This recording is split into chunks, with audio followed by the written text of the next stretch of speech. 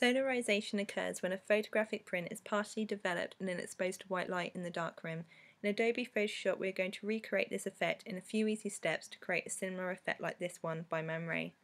First thing that you need to do is find an image that's suitable. It could be part of the human body like mine, a picture of um, a car, flowers, buildings, whatever you want and once you've found that just open it up in Photoshop. If your image is already in black and white, then miss out this step, but if it's in colour like mine, we just need to convert it to black and white. So to do that, go to Layer, New Adjustment Layer, Black and White, press OK, and you can see that our image has been converted to black and white. For those of you who just missed out that step, then you can join in in this step in step 2 to create a curve. And then to do that again, go to Layer, New Adjustment Layer, and then Curves, and then press OK. You can see that our curves palette has been brought up here on the right hand side. For those of you that use curves, you might be familiar with using the tool like in editing tones and exposure, but you might not know that the curve tool has a pencil which allows you to draw your own curves or lines.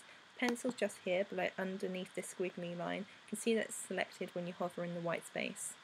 And then what we now need to do is draw an inverted V.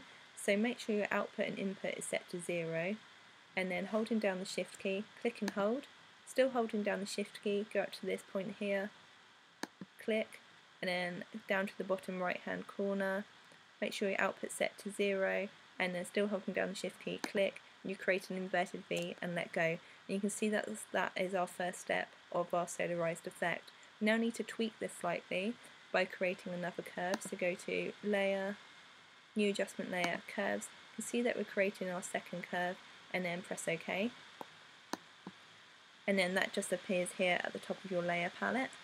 And then now that we're going to do is use the normal wave tool, so this squiggly line that's above the pencil. we're just going to manipulate the curve to lighten and darken our image.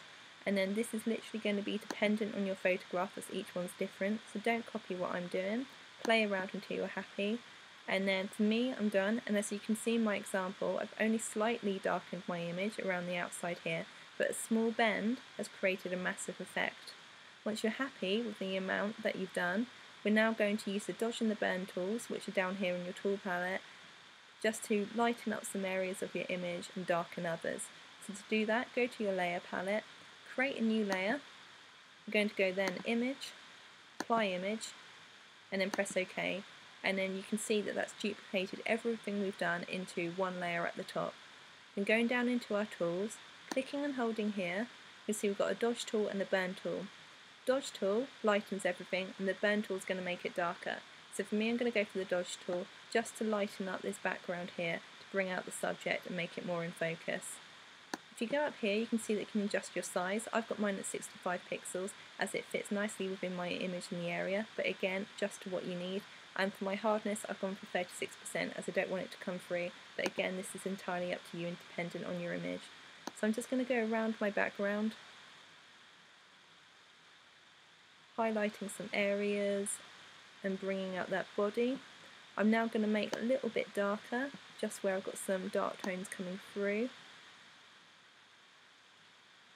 And then for me, I'm done as I'm really happy as it's made the background a lot clearer, brought out this nice solarized effect that we've just made, and that's all I want to apply to my image. Again, if you want to, you can use the dodge and the burn tools to adjust your solarized effect, but I don't really think that you need to. And then that's all. There you have it. You've created a solarized effect in Adobe Photoshop and I hope you've enjoyed our tutorial.